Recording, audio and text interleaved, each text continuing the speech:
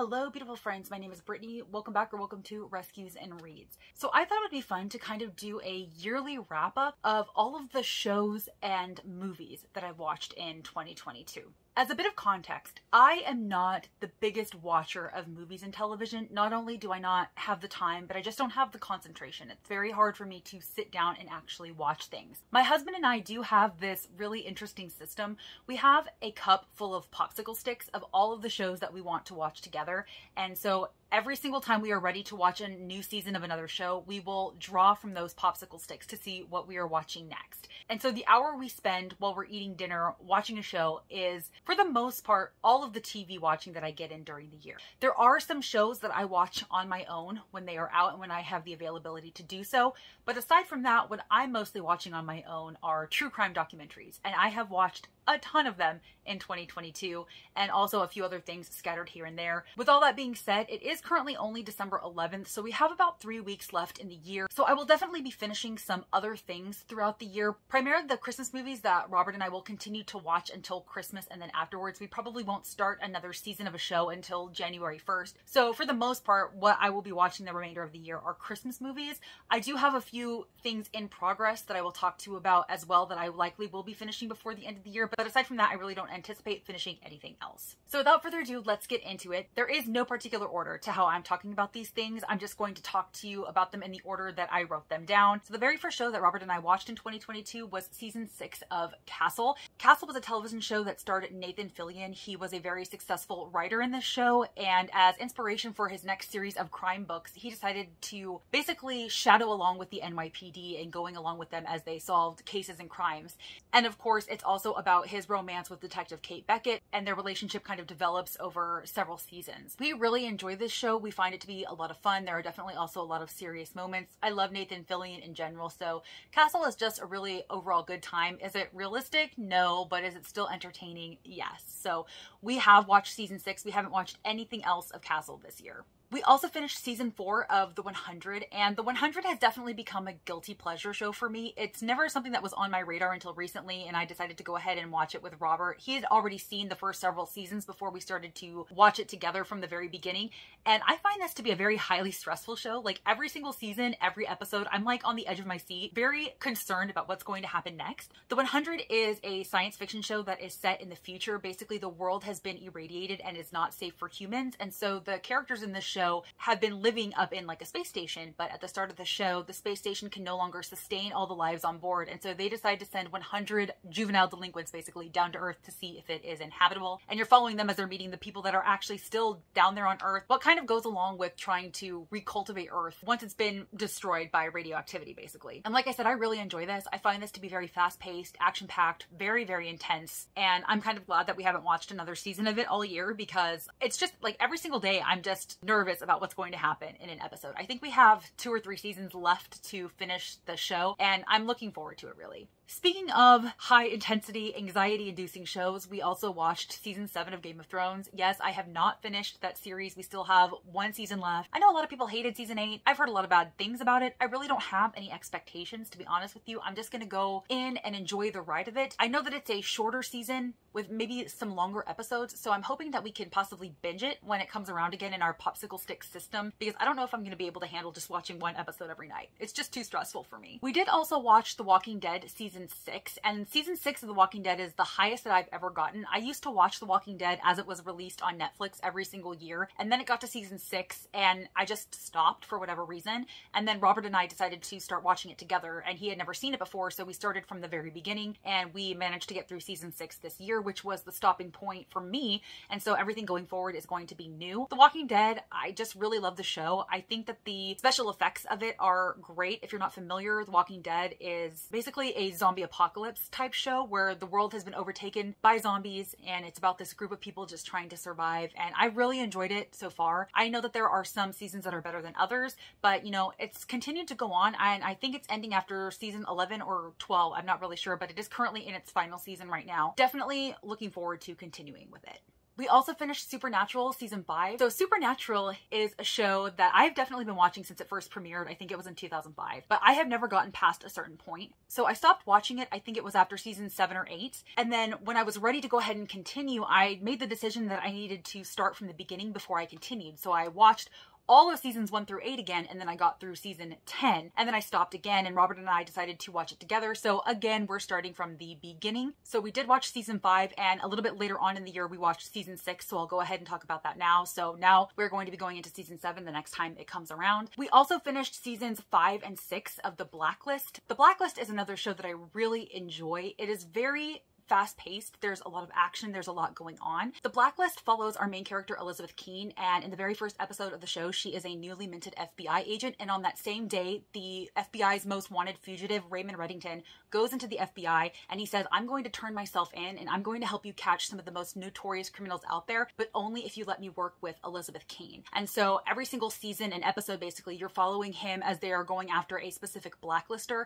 There's almost always a specific reason why Raymond Reddington wants them to go after this blacklister, it usually helps him in his own purposes. But a larger part of the story is Raymond Reddington's connection to Elizabeth Keen, why he only wanted to work with her. There are definitely a lot of secrets revealed. It gets kind of complicated throughout the seasons, but I have enjoyed every single season. I don't think that there has been one season that I haven't enjoyed, and I really like watching the mystery of Raymond and Elizabeth's relationship unwind and all of the secrets that are revealed. So this is another show that I highly recommend if that sounds at all interesting to you. Also, I believe The Walking Dead, Supernatural, and The Blacklist are all still currently on Netflix. Game of Thrones obviously is going to be on HBO Max. If you don't have HBO Max, you might have to watch them on DVDs. Castle, I've always had to watch on DVD. I've never been able to find it streaming somewhere. I don't know if that has changed recently, but I primarily watch the DVDs of that. And The 100 is also on Netflix. Sorry, I have been neglecting to tell you where I watched these shows. And then, of course, also on Netflix was Stranger Things Season 4, Parts 1 and 2. Absolutely fantastic Season 4 was definitely one of the best in my opinion. I think season three is still my favorite just because I really love the whole plotline with Billy. That final episode still cuts at my heartstrings. Season four was really, really good. I wasn't necessarily the biggest fan of like the plotline they had with Mike and Will and all of that. That was a little bit weird and I didn't like that they were so disconnected from everything else. But you know, overall, I'm still very, very much in love with the show. It's probably one of the best shows that I've ever seen in recent memory and I'm nervous for it to continue. I think season five comes out in 2024. So we have quite quite a wait. I'm sure that season five is going to be fantastic. I'm going to be very sad to say goodbye to this world and these characters, but I like that they know when to stop it before it kind of gets old, you know? We also finished The Rookie season two, which is another show that stars Nathan Fillion. I believe we watched this one on Hulu. In The Rookie, Nathan Fillion is the rookie. He is older. He is in his 40s and he just recently decided to do this big, huge career change. And now you're following him as he is entering the LAPD and all of that goes along with it. Now, obviously, the show is not going to be 100% realistic, but I feel like it does a really good job of trying to be as realistic as possible to what it could be like being on the LAPD. And I really appreciated that. So, so far, I feel like this show does a great job of depicting that. It's obviously high drama and Nathan Fillion does an amazing job. We also finished The Last Man Standing season 3. Last Man Standing is a comedy featuring Tim Allen. Some people say that it's Home Improvement, but with girls. there are definitely a lot of similarities between this show and Home Improvement. In The Last Man Standing, he has three daughters instead of sons. Instead of being like on a Home Improvement show, he actually owns Outdoor Man, which is kind of like a big Bass Pro Shops type of thing. So there is a lot of similarities. I find like the humor in Last Man Standing is definitely a lot more politically incorrect, which I appreciate. And overall, it is just a good time. We really enjoy that show. Getting into some of the true crime documentaries, I finished Crime Scene Times Square, which was on Netflix. And this is a documentary, I think it was three episodes long, that really details Times Square and what it used to be known for and the seedy nature of it and the crimes that happened there. I really like this crime scene series. They did a crime scene series on that notorious hotel in LA where Elizabeth Lamb, I think her name was. Oh gosh, why can't I remember the name of that hotel? It's so infamous. But they did a series on that and it was really well done. And so when they came out with Times Square, I jumped on the chance to watch it. These are really great and they just kind of highlight a specific place and all of the crimes that have kind of taken place there, which is interesting. Also on Netflix was Dig Deeper, the disappearance of Bridget Meier. That was okay. That was just a standard documentary following the disappearance of a missing woman. I watched Helter Skelter, an American myth on Epix, I think it was, and that is a documentary obviously following the Manson family. I buddy read Helter Skelter with Sarah from Sarah's Nightstand, and it was phenomenal. And so, kind of after that, I was really interested in diving a little bit more into the Manson family. And this documentary series was phenomenal. It does a really great job of detailing Manson and his cult and the crimes, really goes deeply into it. And I highly recommend if you are interested. Another life changing documentary is Cowspiracy. I am late to the game on that one. I know that it took the world by storm a couple of years ago, but that is really a documentary all about the very harmful nature of the commercial animal agriculture industry. Not only the cruelty that goes on to the animals involved, but the environmental damage that it inflicts. A lot of people don't understand how much damage animal agriculture actually does and how much it's contributing to like deforestation and global warming and things of that nature. It is a very eye-opening documentary series.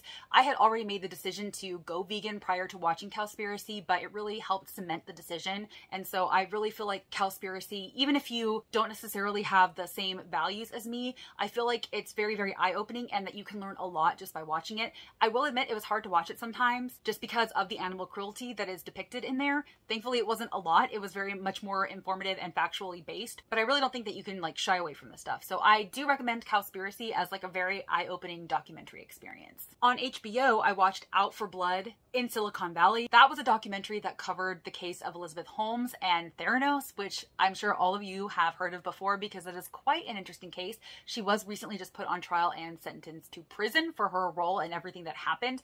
Highly recommend this documentary. The documentary, I believe, was based on the book by John Carreyrou, the true crime novel. So either one, whether you watch the documentary or read the book, it is very, very interesting. Since I'm talking about that documentary, I will also talk about The Dropout on Hulu, which is a fictionalized version of the story starring Amanda Seyfried. She did a fantastic job. It was very well done. And so I highly recommend if you are more interested in the dramatized version of it, that was very, very good. Like I said, that is on Hulu. Another Netflix documentary that was really interesting was The Tinder Swindler. It was about a man on Tinder who basically conned women into sending him money. He would tell these very elaborate lies in order to get these women to send him money.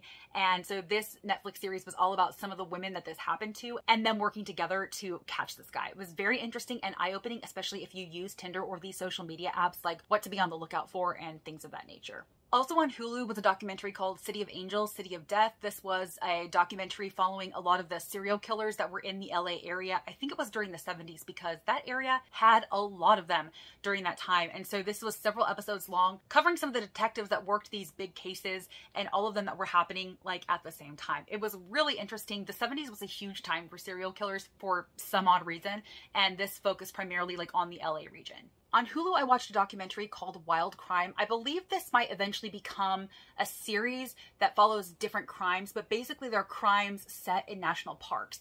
And so the very first season of Wild Crime followed a very specific crime, and then I think that they might be releasing more in the future set at possibly other national parks and other crimes. I don't know that for sure, but I really, really enjoyed this one. I thought they did a really great job, and it's just a different kind of world when you're dealing with national parks because there's also other like investigative forces involved in that as well. It was really, really interesting.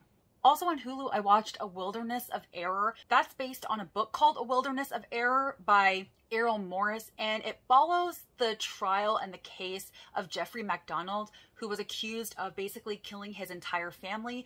And if I remember this correctly, the details are fuzzy, but the person who wrote the book was very much convinced of this guy's innocence, and so he wrote the book about it, and now he's doing a documentary series, kind of tossing back and forth the fact that he could maybe not be innocent. So it was very, very interesting to have the writer in there as well, kind of going over the book and his use of the crime and how he's kind of like taking a step back and admitting that there could be some guilt with this guy kind of along the same lines as the Tinder Swindler was The Puppet Master, which is also on Netflix. That is also about a con man who, over two decades, would conceal his identity in order to steal money from people. Definitely, it's very, very scary to think of the fact that people can get away with this, that people can be so convincing and so conniving that they can actually steal thousands and thousands of dollars from people and just get away with it. Another Netflix documentary was Catching Killers. I watched season two of that, which is about different cases being profiled and you're following like the detectives and the law enforcement and what they had to do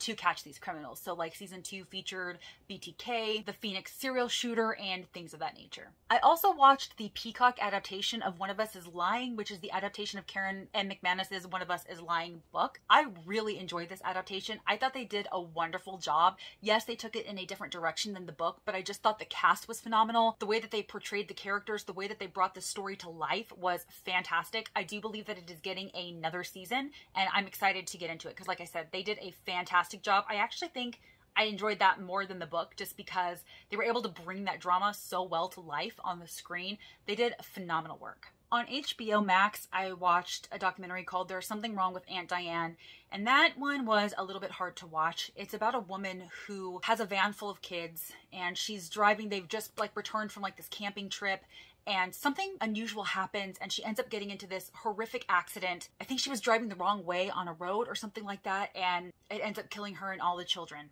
in the van. And it was very intense to watch and you just have no idea what happened to her. They think that like she might have had like a manic episode. They have no idea what could have possibly gone wrong with this woman because for the most part she was a very loving wife loving aunt. I guess diane when she was autopsied they found high levels of alcohol and thc in her system which was weird because when she left everybody that day to take the kids she was not intoxicated. She didn't have any thc in her system and they said it was like not like her to consume these things. And so she would have had to consume a lot of alcohol and like in such a short period of time to get her to that level of intoxication, but that in combination with, I guess, THC could have done it. So there's a lot of controversy surrounded what actually happened. Some people, like including her husband, are some people are just not willing to believe that she was intoxicated while driving these kids. They say that she never would have done that. And the reason why it's called There's Something Wrong with Aunt Diane is because one of the kids was on the phone with his dad saying, Hey, there's something wrong with Aunt, like something's going on with her. And so it's just, it's just heartbreaking. It really is just so, so tragic. And I watched it and I was, that one got me a little bit. It really did. Also on HBO was the Starved Rock murders. This follows the crimes of Chester Weger, who was imprisoned for killing three women at the Starved Rock National Park. He served 60 years before being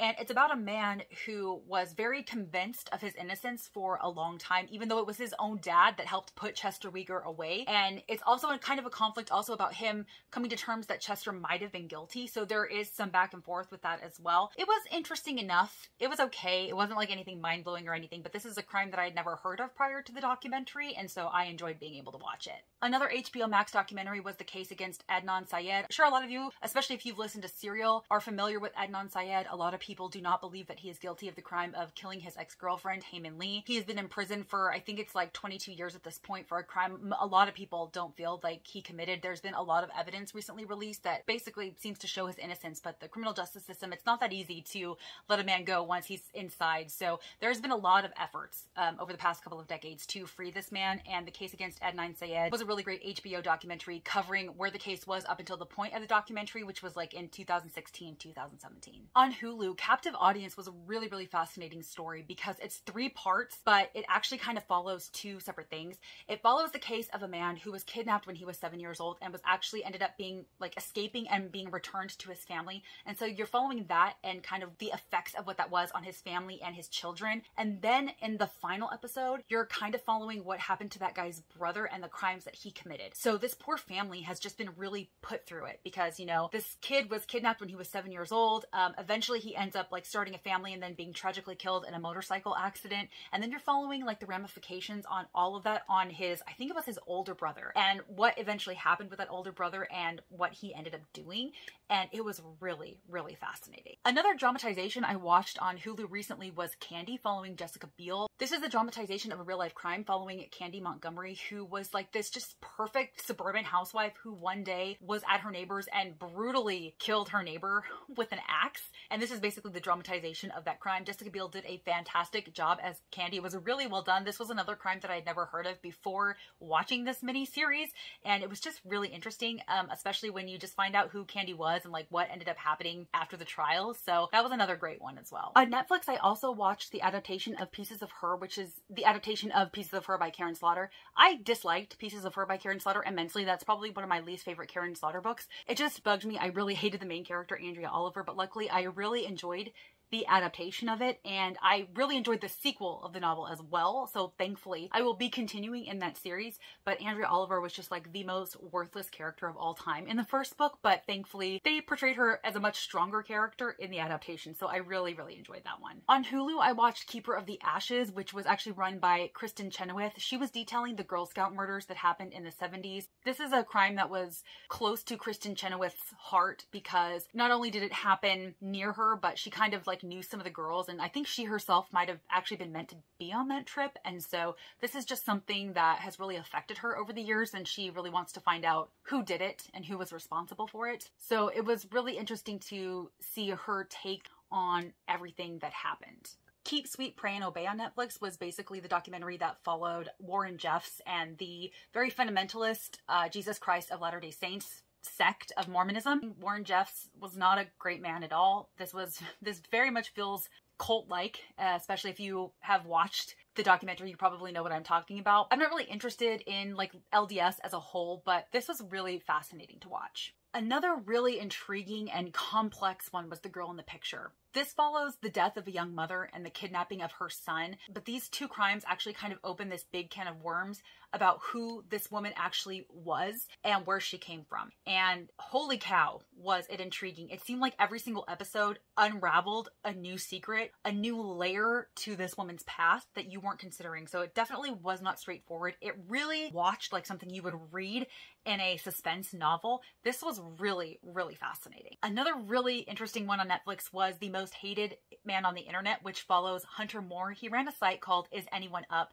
which was basically a pornographic site that was ran based on stolen and hacked photos and kind of like the lives that ruined by showing these very intimate personal photos that people never meant to get out. Like they sent it to maybe people that they trusted and then he somehow got a hold of them. And there was a lot of controversy that went into that. That was a really really eye-opening documentary. Just the things that can happen on the internet. Oh man. Robert and i did watch only murders in the building on hulu that is the series that stars steve martin martin short and selena gomez which is it's such a very campy type story but it was highly highly enjoyable enjoyable. It follows these three as they all kind of bond over this true crime podcast that they are really a fan of, and then something happens in their own building. Somebody is dead. Everybody believes it's a suicide, but they don't. And so they take it upon themselves to do this investigation. And it was just a lot of fun. Season two is already out, and we definitely have it on our radar to continue. And I think that there's going to be another season as well, which I am super excited for. Another shocking and mind blowing story that I watched was Untold, the girlfriend that didn't exist. This was about the catfishing of a professional football player. Oh man, you just do not believe that things like that can actually happen, and they do. And they absolutely do. That was another one that is just, you cannot believe the things that happen on the internet on the same lines, there was a three or four part documentary called The Web of Make Believe, which is really about some of the crazy things that happen on the internet as well. You just never know. You have to be super careful on the internet. You really, really do. You have to be mindful. A lot of things can go down. And we're still very much in a time when they're trying to determine how to handle crimes like these. There never used to be laws against certain things like stalking on the internet. Nobody ever knew what that was or what to do with it, you know? And now they're really opening their eyes to all of these terrible, harmful things that can happen on the internet. These documentaries are just, I think, very important. Um, especially since we are all using the internet these days. We can't really get by without it. And so watching these documentaries really makes you mindful of some of this stuff. Another Netflix documentary was one called I Just Killed My Dad. It is about a teenage boy who claims that he killed his father in self defense. And so this is following his story and what he went through as a kid and what ultimately ended up leading to his father's death. This kid literally called 911 and said, I just killed my dad. And it goes from there because you you have a very complex situation where this guy knowingly pulled the trigger on his father but you also have the background of what actually happened to this kid. Throughout it, you're just like, oh yeah, I would have shot him too. So this was another one that was very complicated in terms of you don't know how to feel, you don't know who to root for, you don't really know what should happen. This was a very gray area type of case, and I enjoyed watching the documentary of it. Another show that I watched on my own was Devil in Ohio. This is a show that was on Netflix and it stars Emily Deschanel, who was the star of Bones. It's about the psychiatrist who takes a really big interest in this girl who comes in and they think that she's from this place called I think it's Amen Town. And it's basically like this very small little area that's kind of cultish. And so you're following this psychiatrist as she's trying to help this girl, trying to uncover what actually happened to this girl and how she gets her and her family involved in this mess. Another almost completely unbelievable scenario was Sins of the Mother, which was also on Netflix. This is a true story of a Mormon mother from Ohio. She gets involved with I don't I don't know if it's a cult, I don't know what it was, but she gets involved with this man and the things that she does oh man, you are going to be so angry and so frustrated when you watch this documentary. I could not even believe it. I could not even believe that this happened. She was connected to several deaths, including deaths of members of her own family. And it was just heart wrenching to see what this did to, especially her oldest son, who had to kind of watch as people he loved were killed and then knowing that his mother was a part of it. Oh man. Whew, this was really one that got me so angry and so aggravated because you just want to shake this woman. You just want to smack her upside the head and be like, what are you doing? You cannot possibly believe the shit that you are saying. It is ridiculous. I also watched the second season of the reboot of Unsolved Mysteries. If you're not familiar, Unsolved Mysteries was a show that was on for many, many, many, many years in, I think it started like in the late 80s, possibly early 90s, and it just covered exactly what the title says, Unsolved Mysteries. So these could be like actual crimes, and then it could be more unsolved mysteries in terms of things that we can't explain. A lot of times they cover things related to aliens and UFOs or ghosts. And that's still like a running theme in the reboot as well. And so you're following people as they're detailing their own experiences with UFOs, with ghosts, crimes that still haven't been solved, and then loved ones that are desperate to find the answers that they're looking for. I think they're doing a fantastic job with the reboot. Very, very well done. I don't know how long they are going to continue with the reboot, but I enjoy it and I think that this is a great way to bring attention to crimes that a lot of people might not already know about and they could have a piece of the puzzle and they might not know it. And this is a great way to solve some of these crimes. We're finally getting to the tail end of this. The last couple of documentaries that I've watched recently were Killer Sally. Killer Sally is following this female bodybuilder who killed her bodybuilder husband and it's about her story as well as like the criminal investigation that went into it. She claims that she killed him in self-defense, that she was a battered wife. Some people don't necessarily believe that. She was in prison for a very, very long time. So not only are you following her and her crimes, but also the world of bodybuilding, which is quite interesting. Uh, the people that are so dedicated to live their lives that way was really, really fascinating. That was on Netflix. And then also on Netflix was Dahmer Conversations with a Killer. They did a Ted Bundy version of this, I believe, which was interesting. And then this is with Dahmer. And so you're actually hearing the recorded conversations with Dahmer and the crimes from his own mouth, his own words. All right, y'all. So now I'm just going to quickly run through all of the Christmas movies that I've watched so far up until the month of December. Like I said, the remainder of the month, pretty much all I'm going to be watching are Christmas movies and then finishing some of the shows that I currently have in progress. So the first Christmas movie we watched was The Holiday, featuring Kate Winslet and Cameron Diaz. A Christmas Story Christmas, which was a very new release that just came out in November. A Christmas Story is one of my favorite Christmas movies of all time. I have to watch it every single December. And this was a new release that actually follows the kid from that story all grown up and him with his own family. I thought they did a spectacular job. I love that one one so much. If you love A Christmas Story and you're worried about watching this one, don't be. It was exactly what you want from it. It's not trying to replace the original. It's totally doing its own thing, but it still pays really great homage to the original. Die Hard was Christmas movie number three. Four Christmases was Christmas movie number four. Christmas Chronicles 2 was number five. Just Friends was number six. White Christmas was number seven. Elf was number eight. Jingle All the Way was number nine. And Die Hard 2 was number 10. In terms of what I'm currently watching, I'm currently in the middle of The Sinner season four. The Sinner is a series that was actually created and produced by Jessica Biel. She starred in the first season and it was so phenomenal. That was one of those shows that I just wanted to keep watching because I wanted to know what happened. She's not in the other series, but it still follows the same detective as season one and they're so, so good. And I also currently just started season two of Firefly Lane. Firefly Lane is the adaptation of Firefly Lane by Kristin Hannah, which follows the decades long friendship of Tully and Kate, their trials, their tribulations, their loves, their losses, their fights, their makeups, everything that goes along with a lifelong friendship. And the adaptation is very, very different from the book. I really think that you can consider them two different things, but at the core, the friendship between Tully and Kate is what's important. And the Netflix adaptation shows that really, really well. So I'm enjoying it and I hope to finish that and season four of The Sinner. And that's basically it. That's what I plan to wrap up the year with. All right, y'all. So that took a while. It took a lot longer than I thought to go through all of those. I watched a lot more true crime documentaries than I thought I did this year. I don't know what that says about me. If you have any other true crime documentaries that you think I would like, please leave them down below. I'm always looking for more recommendations, especially when I feel like I've exhausted the internet for true crime documentaries. If you have watched anything that I have watched this year, please let me know what your thoughts are. Please let me know some of the best things that you have watched in 2022. And as always, if you like this video or if you just like me, please be sure to give it a big thumbs up and subscribe if you haven't already, because I would sure love to see you in my next video. Bye guys.